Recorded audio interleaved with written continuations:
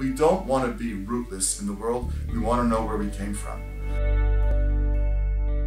Universalism is, in some sense, a very noble dream, but I think it cuts against the grain of what human beings are all about. Human beings want to come from a particular place. They want to have something unique and distinct to save the world. We don't want to be just like everyone else. The purpose of the Jewish state is to give the Jewish people an opportunity to remind the world how much might be lost if we don't hold on desperately to the particular ethnicities, cultures, heritages, beliefs that make us who we are.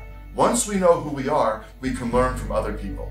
But we can't teach anybody anything, and we can't even learn anything until we know who it is that we are and where it is that we come from.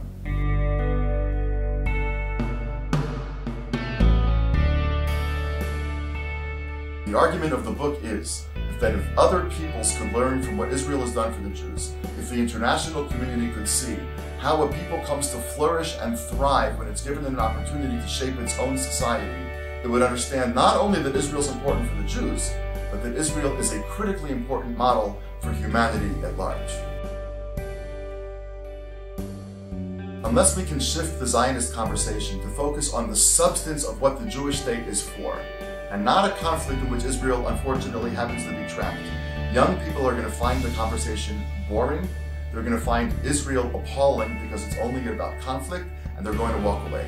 And if Israel can become the platform from which the Jewish people speaks to the international community and brings to bear some of the most profound ideas of the Jewish tradition, I think we can bring a younger generation of American Jews back into the conversation with passion and with enthusiasm. The purpose of the book, The Promise of Israel, is to move the conversation away from the conflict and into the substance of what Israel has to say, what the Jewish people has to say, and how Israel is a model of a kind of ethnic nation state from which other peoples all over the world, the Basques, the Tibetans, the Chechens, many others who don't have their own countries, might someday benefit.